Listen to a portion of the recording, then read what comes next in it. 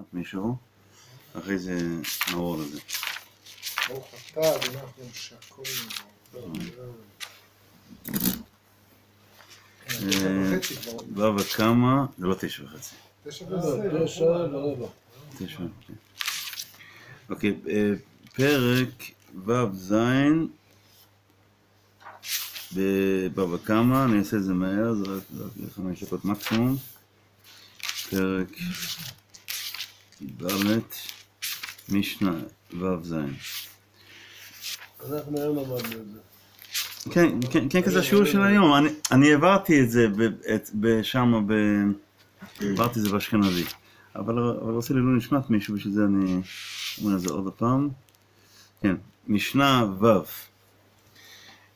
סתם ככה, כתוב בקיצור שולחן ערוך, ושיעור משניות קודם לכל דבר. דבר גדול מאוד משניות.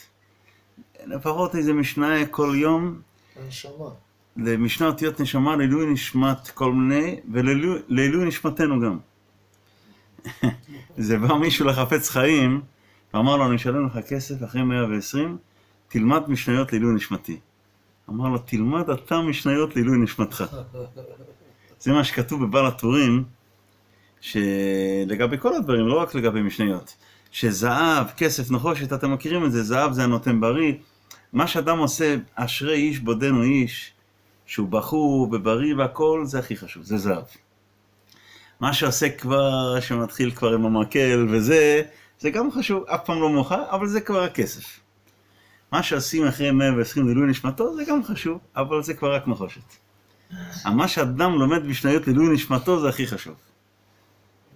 אז אה, כתוב פה במשנה ככה, שור שהיה מתחכך בכותל. אה, הוא היה ככה מתחכך בכותל, סתם ככה מדגדג לו שמה והוא ככה מתחכך בכותל, ובטעות ונפל על האדם. או שנתכוון להרוג את הבהמה והרג את האדם. לנוכרי, גוי, גוי ויהודי זה שתי דברים.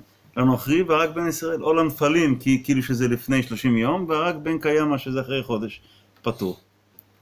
אז מה, מה הוא פטור? פטור, הרי צריך בהמה מועדת שהרגה, חוץ ממה שהבעל הבית צריך לשלם כופר, אז צריך להרוג את הבהמה גם כן. מה שכתוב פה פטור, מסבירים המפרשים, ממיתה. אבל הכופר הוא כן צריך לשלם. זאת אומרת, זה למה, כל הדברים האלה, למה פטור השור ממיתה? כי הוא, כי הוא, לא, כי הוא לא נתכוון, לה, או שלא נתכוון להרוג, היה מתחכך בכותל פשוט, ובשאר המקרים שכן נתכוון להרוג, אבל לא נתכוון להרוג אדם שחייבים עליו מיתה. כי אם הוא מתכוון להרוג את הבהמה, אז זה לא חייבים מיתה. או שהתכוון להרוג גוי, שהגם זה גם לא בסדר, אבל לא חייבים מיתה על זה. או שלנפלים אותו דבר.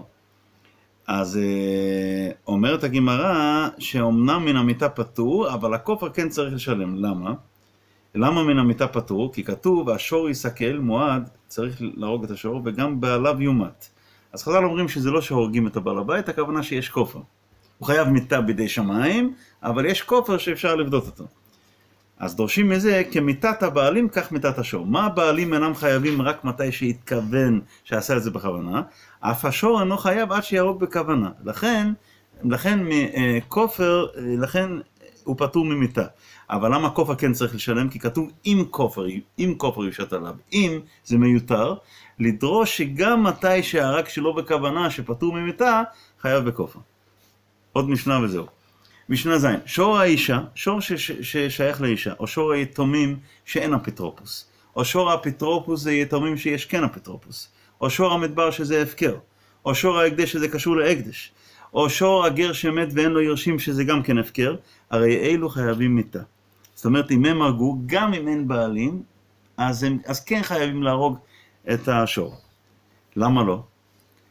אז, אז אנחנו נבין את זה בהמשך. רבי יהודה אומר, רבי יהודה חולק על זה. הוא אומר שור המדבר, שור ההקדש, שור הגר שמת, השלוש דברים האלה פטורים מן המיטה לפי שאין להם בעלים. הכוונה, אני מבין ככה, כי אנחנו לא באים להעניש את השור. כשאנחנו הורגים את הבהמה, זה לא בשביל להעניש את הבהמה. להעניש את הבן אדם. אז מתי שאין בעלים, אין טעם להעניש פה. זה מה שאני מבין. ולכן מובן מאוד אז שהתנא קמא, שהוא, התנא קמא אומר חייבים הוא חולק על זה. למה התנא קמא חולק על זה?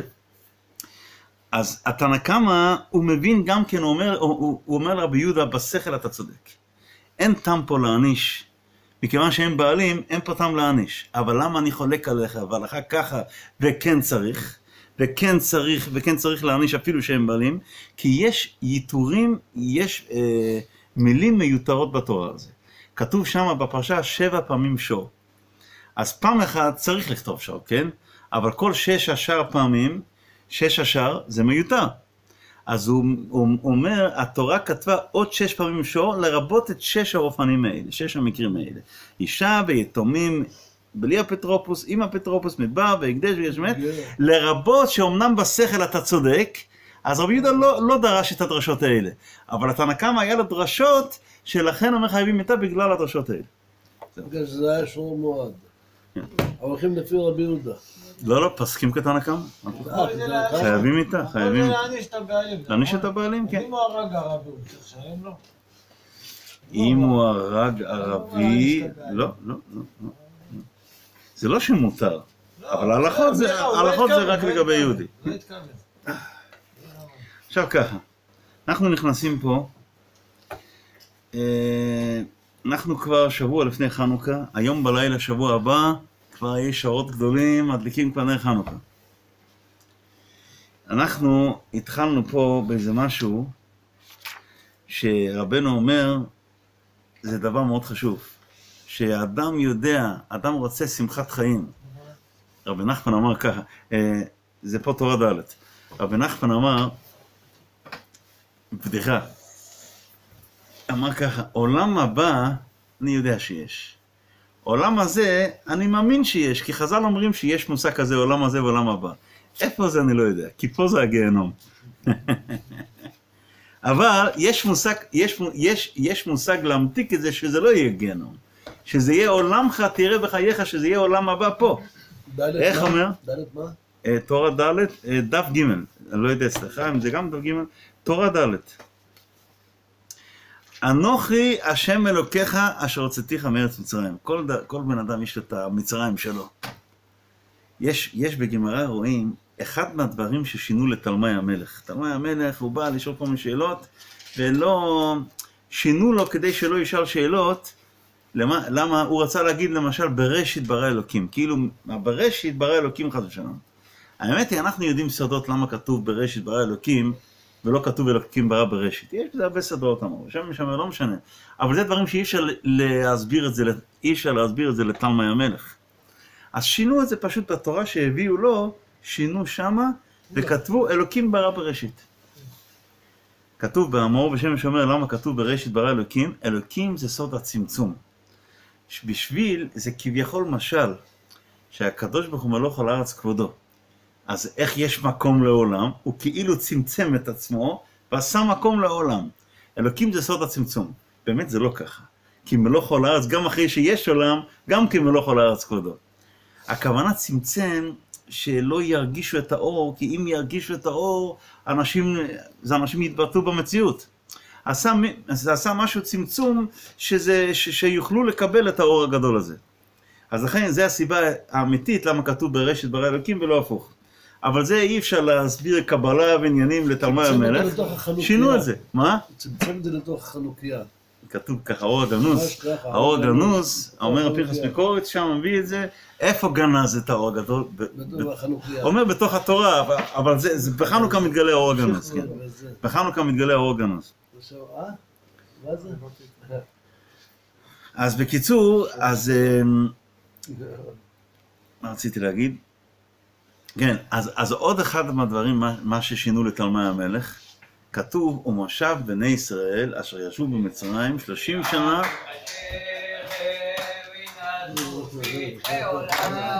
הרי הנה מוכן ומזומן לקיים מצוות עשה של כנסי ותקום בדעת הפני זקנת ירושלים. לפי הקבלה, יהודים מגיל 60 חייבים לקום. לפי ההלכה זה רק מגיל 70. קיימתי מצוות עשה. תקדים, מה נשמע הרב? אה. היינו עכשיו בחנוכת בית. אז סיפרתי לכם את הבדיחה. חייל חייל.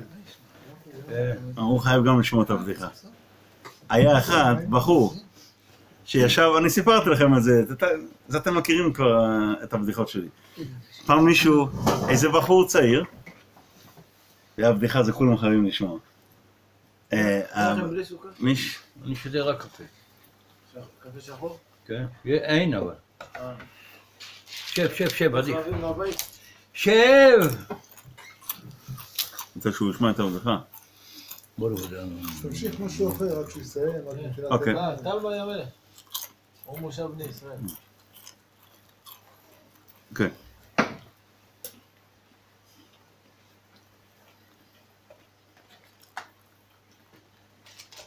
שהם... איזה בחור ישב באוטובוס. ומגיע בן אדם אה, מבוגר. אה, לגיל... אתה צוחק כבר. והוא עושה את עצמו כאילו לא רואה, סוגר את העיניים ככה, בשביל שלא יצטרך לקום.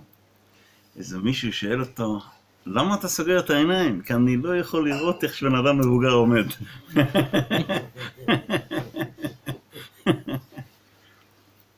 בקיצור, עוד דבר ששינו לתלמי המלך, שכתוב, אה, ומשב בני ישראל אשר ישבו במצרים שלושים שנה וארבע מאות שנה.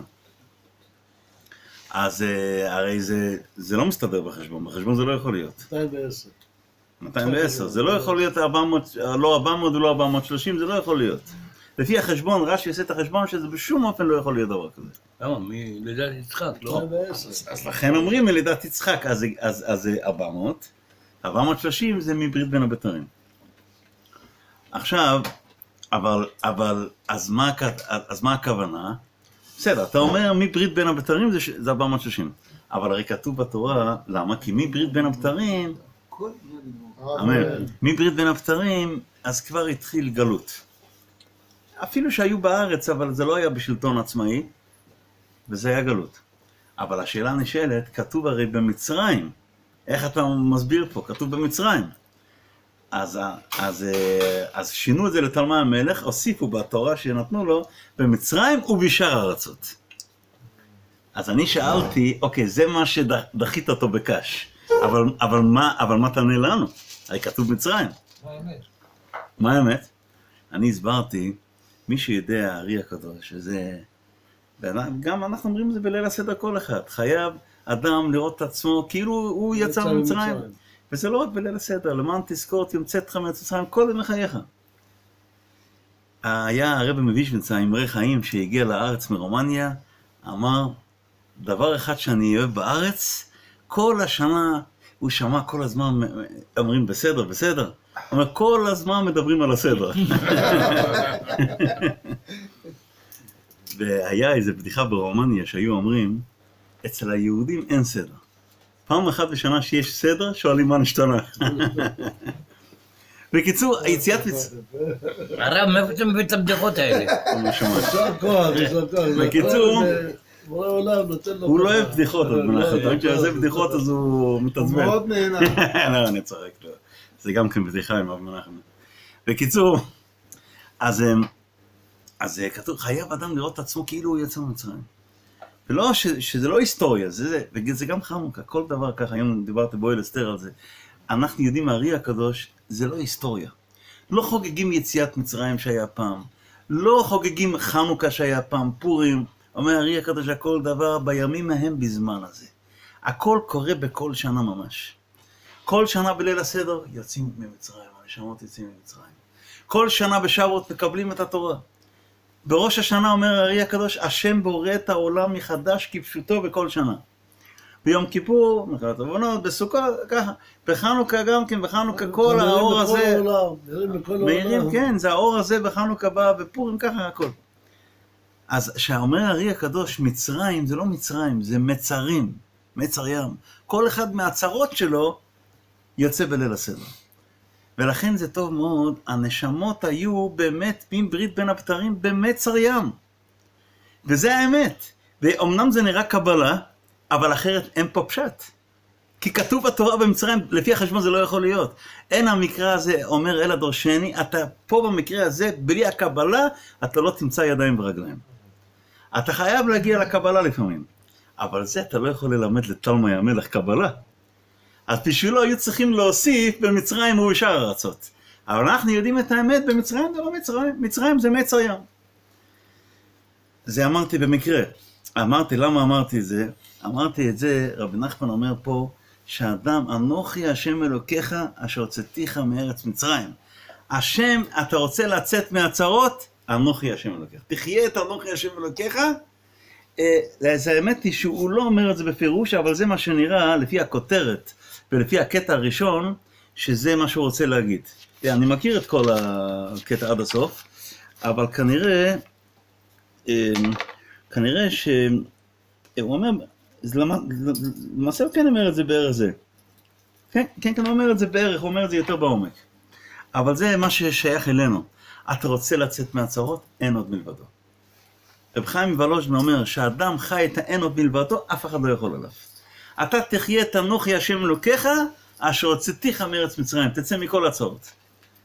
ולא רק תצא מכל הצרות, כבר אין לך צרות. כי גם מתי שזה נראה ככה, הכל זה דמיונות. ברגע אומר רבי נחמן, כשאדם אבל אין יודע... אדם שאין לו צרות, הרי הצרות זה ייסורים, וייסורים זה כפרת עוונות בעולם הזה. אז אין דבר, אין מציאות כזאת. נכון, זה מה שדיברנו לא, בשיעור לא, הקודם, שאין רע. נכון. בסדר, בסדר, אבל יש צרות, יש צרות שהשם רוצה שתצא משם. יש צרות שזה צריך להיות ואנחנו לא מבינים. יש צרות שרוצים שתצא משם, אבל אתה צריך לעשות איזה כפתור, ללחוץ איזה כפתור. הכפתור הזה זה נקרא אין עוד מלבדו.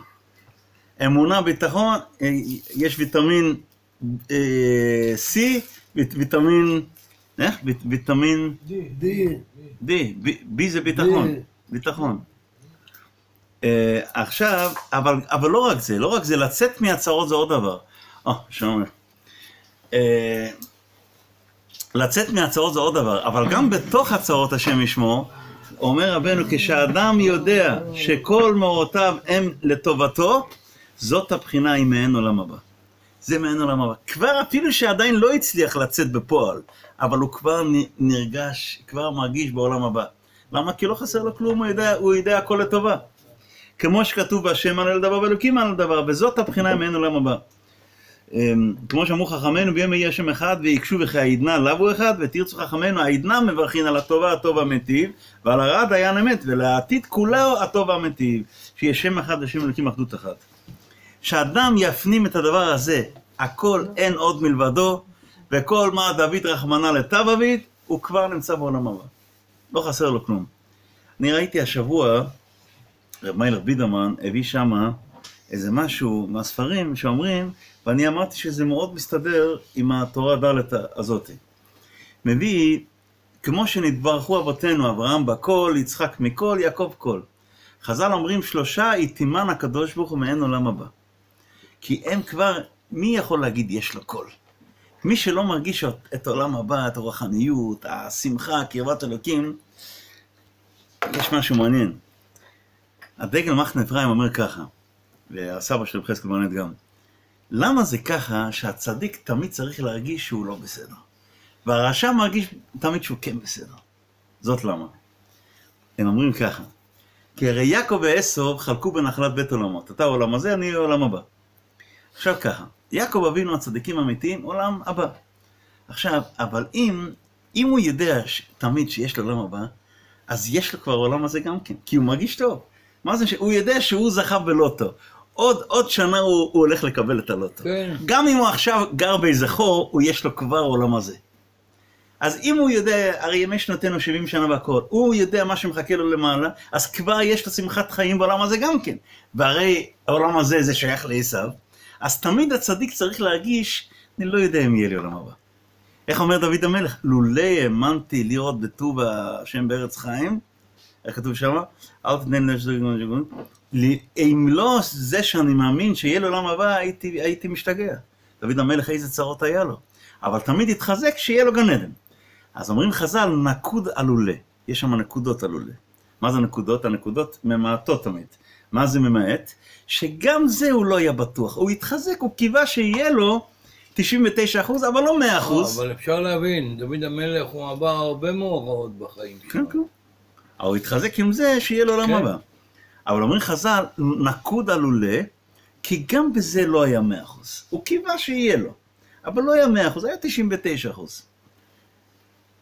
למה? כי הצדיק לא מרגיש בטוח שהוא בסדר. תמיד הוא חושב, כי אם הוא ירגיש בטוח, אז יש לו כבר העולם הזה גם כן.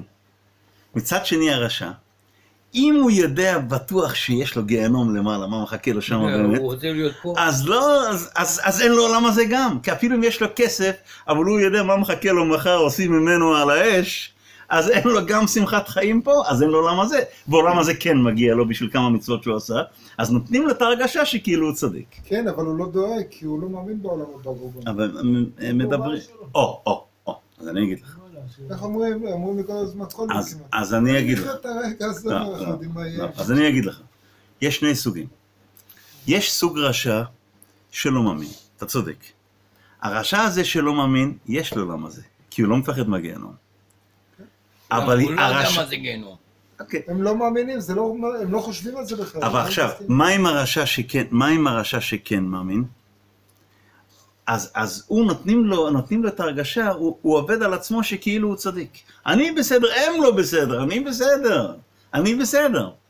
תמיד ייתנו את ההרגשה לרשע, או שלא יאמין בגיהנום, או שיאמין, אבל יבין שהוא לא שייך לגיהנום. אז עכשיו, באמת, באמת, אוקיי, אני לא רוצה לגלוש יותר מדי. טוב, בכל מקרה, שהאדם יש לו את ההרגשה, אז שהאדם יש לו את ההרגשה, אומר רבנו נחמן, שהכל זה לטובה, אז לא רק שיהיה לו עולם הבא, יש לו כבר שמחת חיים, יש לו עולם הזה. ברגע שיש לך את אנוכי השם אלוקיך, אז חוץ מזה אשר הוצאתיך, שבאמת תצא מכל הצרות, אז חוץ מזה כבר יש לך עולם הבא, כי לא חסר לך כלום.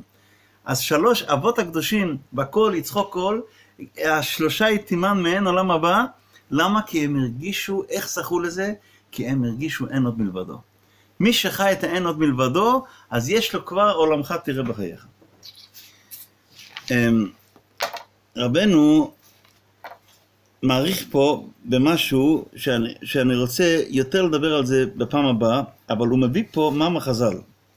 בתורה הזו הוא מביא פה מאמר חז"ל בסוטה כ"א, משל לאחד שהיה מהלך בדרך באישון לילה ואפלה, ומתיירא מן הקוצים ומן הפחתים, מן הבורות, ומחיה רעה ומליסטים. הוא הולך בדרך שאין חשמל ואין זה, והוא, ויש לו פה כמה בעיות. בעיה אחת, הוא מפחד מן הקוצים ומן הבורות. עוד דבר, מפחד מחיה רעה, פעם היה ביערות וזה, חיה רעה וליסטים. וד... ועוד דבר? שודדים. שדים, שדים. שודדים, לא, לא שודדים, שדים, לא שודדים. ובעיה שלישית יש לו, שלא יודע איפה הוא הולך. אבל בחוץ לארץ היו גם שדים, מה? כן, אבל הוא לא מדבר עכשיו על זה. אה, בסדר. זה זה משהו אחר. ועוד, ועוד בעיה יש לו, שאינו יודע באיזה דרך מהלך. הוא לא יודע איפה ללכת, כי זה חשוך. רבנו, אנחנו ביום ראשון הבא שאני אהיה פה, לא שבוע הבא אני לא אהיה פה, אה? אני, אני אגלה לכם סוד. אמרתי את זה, לא, לא, לא זוכר למי. משום מה, נתתי הרבה שיעורים בלקוט המרן, זה יצא לי הרבה, כמו בשאר הספרים, יצא לי הרבה, אבל אני לא עברתי אף פעם על הספר יסודי. ואני, היה לי תפילה שביקשתי, אמרתי לך את זה, ביקשתי מהשם, לא עכשיו, ביקשתי את זה כבר כמה שנים, שיזמין לי איזה שאני אעביר שיעורים קבוע באיזשהו מקום בלקוט המרן, ככה יש לי סיכויים לעבור על הספר פעם. ו... וקיבלתי, וזה כבר כמעט היה נראה ש... שהוציאו לי את זה, אבל מן השמיים הרב השני בא ביום רביעי, וגם הוא לא נותן בלקוט המרן בחר, ככה שזה, אמרו בשמיים זה שיעור שלך. גם אם זה רק פעמיים בחודש, זה... אוקיי, זה, זה תורה מאוד יפה, שאפשר ללמוד את זה חודש, אבל אני אלמד את זה בפעם הבאה ביום ראשון. עכשיו אני רוצה לעמוד על מה מחז"ל הזה, מה שקשור לחנוכה. אמרת גם להזכיר לך לדבר על הנשמות. כן, אז אני למדתי משניות לפני שהגעת. על. איזה נשמות? אמרת, אה, נשמות, לפעמים טהרות, לפעמים זה, אמרתי להזכיר לך לדבר על לא, זה. פעם שעברה הוא דיבר על זה. לא, אבל, אבל אה, מה אמרתי? אמ- אמרתי היום בבוקר, מה אמרתי נשמות? אמרת שהנשמות לפעמים הם נופלים בחתולים, בעצים, בזה וזה. אוקיי, זה, זה לא בשנייה. טוב, אז זה אה, דגים, הוא דיבר פעם שעברה. כן. דגים, זה- לא אה, בשנייה. עכשיו, עכשיו, היה אתה בבוקר אוהב את. הדברים המסתוריים, כן, אנחנו זה בבוקר לא דיברנו. הלא קונבנציונליים. זה לא בשנייה, אבל אני. רוצה עכשיו, מן השמיים יצא את המאמר חז"ל הזה, אני אגיד מה שהבסיס של זה, מה שרבנו מדבר על הזה, דברים מאוד יפים, נדבר על זה בפעם הבאה. אה, יש לי בבית. אין לך אותם, לא מאמין. יש לי בבית. קראתי את כולו. לא את כולו, אבל אה, קראתי חלק. אומרים שלא ישנים טוב בלילה אם קורא את זה. אני ישנתי, מחבק את אביב שלי. ו- אה, אני? מה ש- אתה רוצה? אני רוצה לעיין בו. מה שרבנו מדבר על זה. נבדוק את זה, ב, אה, נלמד את זה בשיעור הבא, כי זה מאוד ארוך וזה מאוד לא בשנייה. אבל אני, זה מהשמיים יצא, אני אדבר קצת על המאמר הזה, מה שקשור לחנוכה. זה מבוסס על מה שכתוב בספרים, וחלק גדול זו השפה שלי, מה שהשם מעיר לי היום. אה, יש פה שלוש בעיות. אדם מהלך בדרך באישון לילה ואפלה. רבנו גם מדבר על זה חשוך, הוא לא יודע מה יש לו, אנשים כל, כל, כל כך מבולבלים, לא יודע מה יש לו בכלל. אז יש פה שלוש בעיות, קוצים, פחתים, חיי רעב, ליסטים, ועוד דבר שאינו יודע באיזה דרך מלך. החנוכה, החנוכה זה השורש של פורים, זה בא, הרי זה מדרבנן. השורש של פורים זה בא מיום כיפור. יום כיפורים זה בא מיום כיפור, זה כתוב בזוהר הקדוש. השורש של חנוכה זה בא מסוכות. סוכות, לכן זה שמונה ימים, וגם, ואני הוספתי, כמו שסוכות זמן שמחתנו, גם, גם אה, אה, חנוכה זה חודש שבת מילה, כן? חודש שבת מילה זה גם כן ראשי תיבות שמח. זה גם כן עניין של שמחה. בסוכות יש הרבה נחל, בחנוכה יש גם כן נחל, ראשי תיבות להדליק נר חנוכה, או, נפשנו חיכתה להשם, נוצר חסד לאלפים, כל העניין של חנוכה בנוי, אומר הרי הקדוש, על נחל. זה הולך על שלוש מידות, השמונה מידות הראשונות, עד נוצר חסד לאלפים. ו... אז בקיצור, אז יש העניין של, העניין של חנוכה זה משורש סוכות. עכשיו, כמו בסוכות היה שמחה, והיה, ואז זכו, ושם היו שואבים רוח הקודש, כי מתי יש שמחה? יש רוח הקודש. זה היסוד של הכל, זה, זה, זה רבן, רבן נחמן מדבר על זה, אבל שם טוב, שמחה זה היסוד, זה מביא שמחה. וככה יש רוח הקודש, ויהי כנגן המנגן ותהי עליו יד השם. אותו דבר בחנוכה יש, גם כי זה העניין של חנוכה, זה דווקא בלילה להאיר את הלילה. זה היסוד של חנוכה, להאיר, שלחו, זה, זה חגי הגלות. זה החג הזה שלחו לנו בגלות להאיר את הלילה.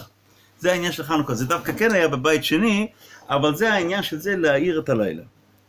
אז לכן חנוכה, מי שהמהלך בדרך בשעון לילה ואפלה, הוא מבולבל, בספקות, בעניינים, הוא מתיירא מן הקוצים ומן הפחתים. אז דבר ראשון, מדליק נר חנוכה, זה מאיר לו, נותן לו את האור, שלא חס ושלום אף אחד לא יתחיל איתו. אחרי זה אבל יש עוד בעיות, דברים, כי יש, יש ידוע, יש היצר רע מבחוץ ויש היצר רע מבפנים. אז יש אחרי זה, אחרי זה שהוא גומר עם היצר הרע מבחוץ, מתחיל עם היצר הרע מבפנים. חיה רע וליסטים. אז כתוב שם, בחז"ל כתוב ככה, הוא מתיירא מן הקוצים ומן הפחתים, אז ברגע נזדמן לו אבוקה, נזדמן לו אבוקה, הוא כבר לא צריך לפחד מן הקוצים ומן הפחתים, כי הוא כבר רואה איפה יש, הוא רואה כבר איפה להיזהר. אבל עדיין מחיה רעה וליסטים זה לא עוזר לו. הפוך, כתוב בגמרא סיפור מרב עקיבא, כן, שהלך לו ה- הכל, זה, אז בדיוק הפוך. מתי שאין אבוקה זה יותר טוב. האבוקה זה מסבך אותו עם החיה רעה וליסטים. האבוקה זה עוזרת לו על הקוצים והבורות, אבל החיה רעה וליסטים זה רק מסבך אותו.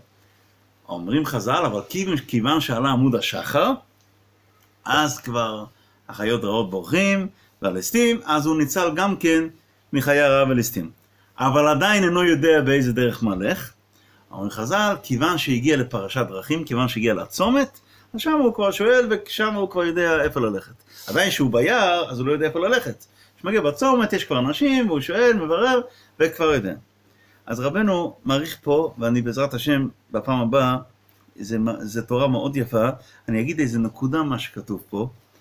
הוא מדבר על זה בגדול, שיש כל מיני בעיות, אבל דבר ראשון זה לראות את הצדיק. כשרואים את הצדיק זה כבר מתחיל להוציא אותו מהתאוות, מהעצבות, זה הצדיק משמח, אבל עדיין יש דברים, יש אדם שיש לו בפנים, הוא אומר שאדם עושה עוונות, אבל הוא מביא פסוק, ותהי עוונותיו חקוק על עצמותיו.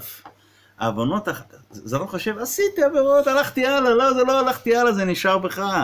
זה חקוק על העצמות, השם ישמור, חקוק העוונות שאדם עושה. ו- ואיך מוציאים את זה? אומר רבנו משהו גדול, אומר על ידי וידוי דברים לפני התלמיד חכם. יש עניין גדול של וידוי, נפשי יצא ודברו, ברגע שהוא מדבר הוא, מצ- הוא מוציא את זה. אבל אומר, יש עניין חוץ מהווידוי לפני הקדוש ברוך הוא, מה שכל אחד עושה, יש עניין להתוודות לפני התלמיד חכם והצדיק. העני- העניין הוא, אני יודע כבר, זה לא כתוב פה, אבל אה, בעולם היו קוראים לחסידי ברסלב בחייו של רבי נחמן אבידוי ניקס. זה ככה ביידיש אבידוי ניקס, כי זה לא היה נהוג אצל שום אדמו"ר דבר כזה, שבאים להתוודות על הדברים. אצל רבי נחמן הוא היה מבקש שיבואו, שיבואו להתוודות. כל אחד היה צריך לספר לו כל העבירות שהוא עשה. אבל למעשה זה לא כל אחד יודע, אז אני יודע אם זה מי שיודע יודע שבאיזשהו שלב הוא הפסיק עם זה. התורה בליקוד מרן זה נשאר ככה, התורה זה נצחית, אבל בפועל הוא הפסיק עם זה למה באיזשהו הפסיק? שלב. קיבל דעה לאנשים כזה. באיזשהו שלב הוא, באיזשהו שלב הוא הפסיק עם זה, לא כל אחד יודע מזה, אבל מי יש שם שיודע עליו יודע. הרבה לשון הרע. לא, לא, זה לא קשור, זה לא לא קשור. לא קשור. לא קשור. לא, יודע לא, לא. לא. כן. אני, אני מה שאני לא יודע, אני לא אומר. זה לא שייך להגיד פה הערכות, זה לא, זה לא תחזית מזג אוויר, אומרים הערכות וזה. זה באיזשהו שלב הוא הפסיק עם זה, זה אני יודע מזה. אז זה באמת, אבל התורה זה נצחית, אי אפשר, התורה זה נצחית. כי אפילו, אפילו כנראה, כנראה שהוא הגיע לדרגה שהיה יכול לתקן את האנשים בלי שיתוודו, כנראה ככה. אבל יש דבר כזה. למעשה זה ככה, למה ששייך אלינו, אם אנחנו צריכים להתנהג ככה או לא, אה, אני אגיד לכם מה. מצד אחד בגמרא כתוב שמי שמספר את החטאים לאנשים, עשיתי ככה וככה, אה, כתוב בגמרא שזה אסור. כאילו חציף, חצוף אינש, כתוב בגמרא, ומגלה חטא. לגלות רק לקדוש ברוך הוא, לבן אדם אסור, כי כאילו אתה לא, כן, כן, אני עשיתי עבירות, אתה לא מתבייש עם זה.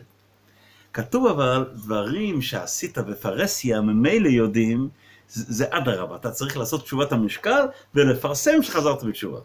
אבל דברים שעשית בצנעה, מי שהיה, ובשביל זה יש הרבה הרצאות של אנשים חילונים שחזרו בתשובה, מספרים על העבר שלהם והכל. למה? כי זה היה בגלוי. אבל מי שנכשל משהו בצנעה, כתוב בגמרא וזו הלכה מפורשת שאסור.